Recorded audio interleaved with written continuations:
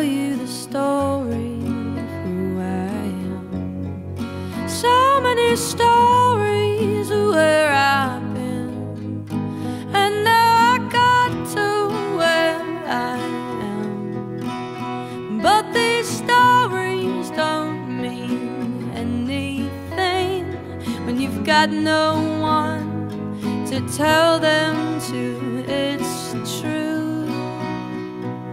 I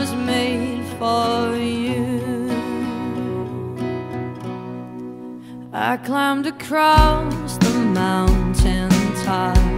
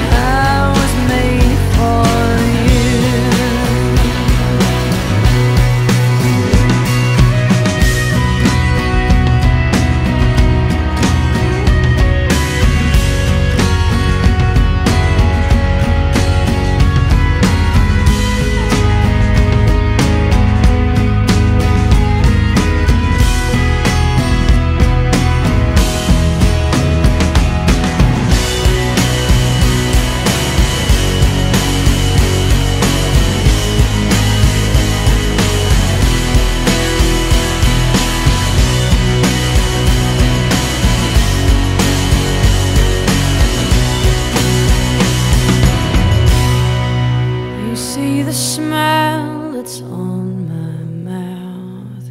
It's hiding the words that don't come out.